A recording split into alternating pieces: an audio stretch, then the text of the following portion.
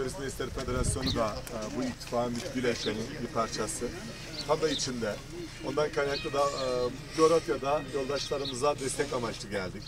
E, evet, Cumhurbaşkanı'nda konuşacak bir şey kal- kalmadı zaten. Arkadaşımız e, söyledi. Bizler de parlamentoya bizim gibi düşünenleri göndermek istiyoruz. Demo, demokratları, aydınları, devrimcileri, yurtseverleri, yaşamımın, yaşamımızın içerisinde herkesi.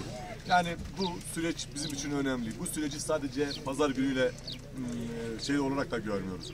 Önümüzdeki 10 yılı, 20 yılı, 30 yılı planlamaya çalışıyoruz.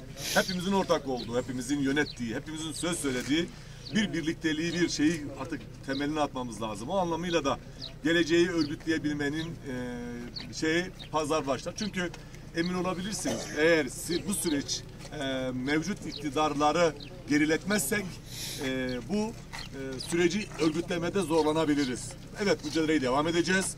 Devam etmeye e, için de elimize geleni yapacağız ama emin olabilirsiniz biliyorsunuz hemen müdahalelerden tutun birçok şey oluyor.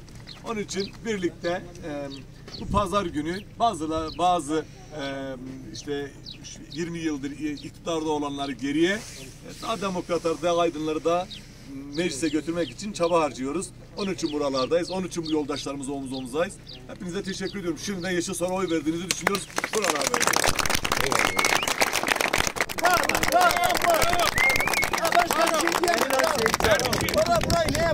Dün ne? 74 yaşındayım.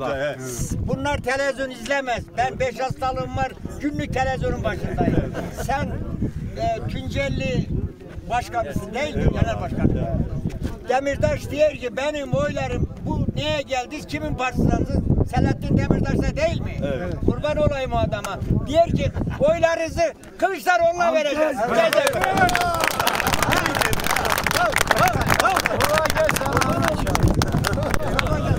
Vereceğiz. Biz de sana verecektik. Dedemiz geldi buraya geçen sene. Yo senin koca... Yani diyeceğim.